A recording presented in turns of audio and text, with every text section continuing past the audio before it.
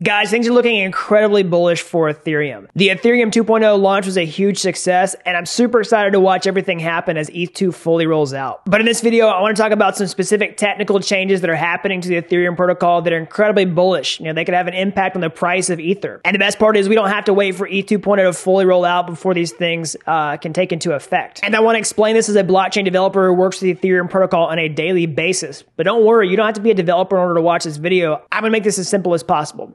So before we get into that, if you're new around here, hey, I'm Gregory, and on this channel, I turn you into a blockchain master.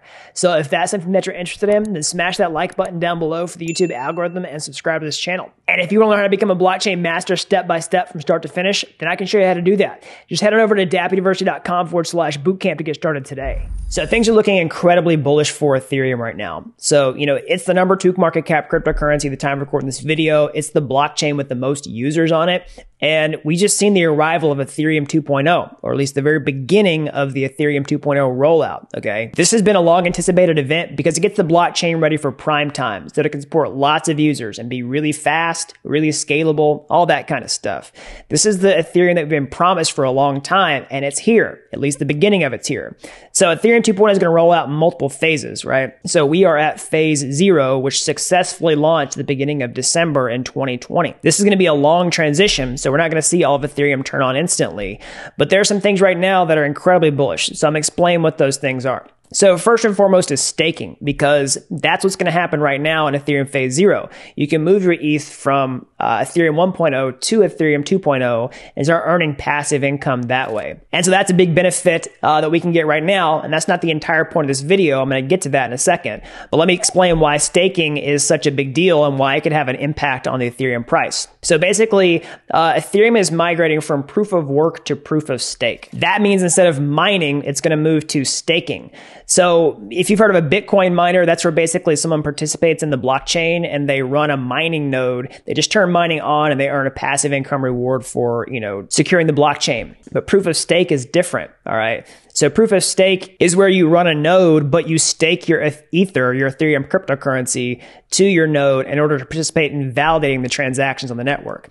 So uh, you might understand what staking is already. That's okay. I just want to explain that for the newcomers uh, who are brand new. We've seen lots of people, you know, rush into this space as the Ethereum price has gone up like crazy in the past few months. I just want to make that clear. That's what staking is. Basically, you take your cryptocurrency, you lock it up in your node, and you earn a passive income reward for doing that. And at the time of recording this video, uh, you know, it's been successfully launched, and you can earn, let's see here, about 15% uh, APR on your ETH, and that's a huge value proposition because you know you can lock it up, and if the price of Ether goes up, that's just icing on the cake, especially if you're holding ETH for the long term. ETH is bullish because there's so many applications built on top of it. The more users, the more people want to hold ETH, right? And then staking is bullish because it locks up a certain supply of Ether. People have moved their ETH from Ethereum 1.0 to Ethereum 2.0. It's totally locked up. All right. So if you're thinking about staking, you need to know that because basically uh, if you want to stake right now, you have to move to the beacon chain. That's a separate network Ethereum 2.0, Ethereum 1.0, you have to move to that. And so this 975,000 Ether, uh, it's locked up and it's not in circulation anymore. And so what do you think that does to the price of Ether potentially? All right. So it's basically supply and demand economics. So if more people want to buy ETH, if, if it's bullish because there's so much adoption of ETH already, there's so many applications, and then a bunch of it's locked up in staking and can't come back right now, then that means effectively the supply of ETH is reduced, or at least the available supply that you can purchase. And so that's that's what's happening to the supply of ether right now with staking. Okay. So basically, uh, it's shrinking effectively because people are moving into the network. They're staking it. They can't get it back right now. And let's say the demand continues to go up because of all the adoption that's happening on Ethereum right now. People just say, Hey, I want to invest in this cryptocurrency for the long term. And if we truly are in the macro bull run that everyone thinks that we're in, then the demand is going up like this. All right. So if the supply is going down like this and the demand is going up like this, just by basic supply and demand economics, that means that the price increases. So that's an incredibly bullish outlook for Ethereum based on, you know, the Ethereum 2.0 launch that's just happened. Again, that creates a ton of hype. That creates a ton of excitement that increases the demand and supply is going down because people are staking it. And, you know, if you can, if you watch here on the website on launchpad.ethereum.org, you can watch this progress. You know, more and more people are starting to stake. Of course, the rewards are going down because they're doing that. But I think a lot of people are staking now after the network has launched because there's less risk, right? A bunch of people who uh, decided to stake before, basically they were risking thinking that the network launch was going to be successful. And now that the network actually is successfully launched, that means probably more and more people are, are willing to make the jump, you know, start staking their cryptocurrency and, you know, more and more companies are going to come out with staking as a service so that you don't have to run your own validator node. So all those things are incredibly bullish. That means that more people are going to be willing to stake because they see it works. More companies are going to come into space and offer that service and more and more ETH is going to get locked up and this problem is just going to get bigger and bigger. It's not really a problem, right? It's only a problem if you want to buy ETH and it's too expensive. Now I want to talk about another thing that's incredibly bullish.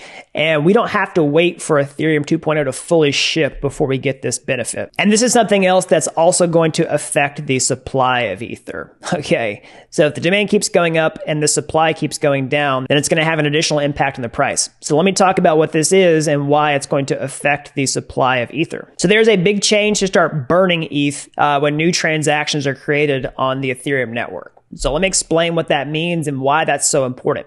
So this is something called EIP 1559. So don't freak out if that's like a technical word that scares you. Okay. I'm going to explain what that is. But effectively, what's going to happen is when new transactions are created on the Ethereum network, some of the ETH in that transaction is going to get burned or destroyed forever. Okay. So this is a proposal that's designed to improve Ethereum transactions that can happen on Ethereum 1.0 right now. We don't have to wait for Ethereum 2.0 uh, to ship completely before we can get this benefit. So let me explain what it does. Basically, this is a change that can go into the Ethereum protocol that will burn some of the ETH in the transaction uh, whenever that happens. So let me explain how this works. So imagine that you're going to send cryptocurrency on the Ethereum network. You're just going to send Ether, the native cryptocurrency on the Ethereum blockchain. Let's say you hold some Ether in a MetaMask wallet, for example.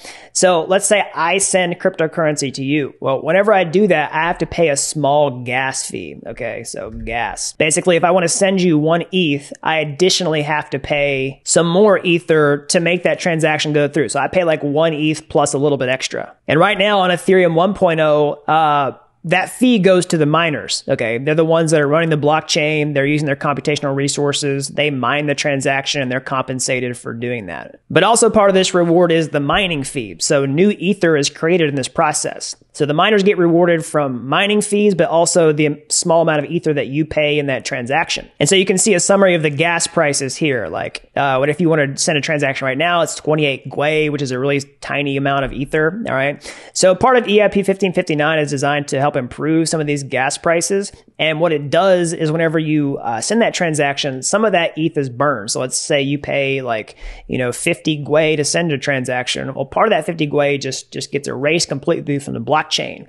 And you can think about it like a network fee. So basically, uh, it benefits everybody who holds Ethereum right now. So essentially, if you ever use Ethereum, if you send transactions, then any of that, some of that gas fee that you send is going to get erased from the blockchain entirely. That's what EIP 1559 does. All right. It's to, an attempt to help improve, you know, this problem and it can happen in Ethereum 1.0. You have to wait for Ethereum 2.0 to ship completely before it rolls out. Why is this mega bullish for Ethereum? Well, it's going back to this supply and demand problem. So basically, if more people want to hold Ethereum and then more people are using it and sending transactions, then some of that ETH is going to get burned in that process and it's going to reduce the total supply of ETH. So that, you know, increases this problem where the supply goes, you know, down and down and down and the demand is potentially, you know, going up. Like I said, you know, if the bull trend keeps up. Quick point of clarification. You might say like, oh, hey, but you said when ETH is mined, that new ETH is created. That's, that's true. All right. So the supply of ETH is increasing whenever new ETH is mined, but uh, burning the ETH will still slow the rate that new ETH is created.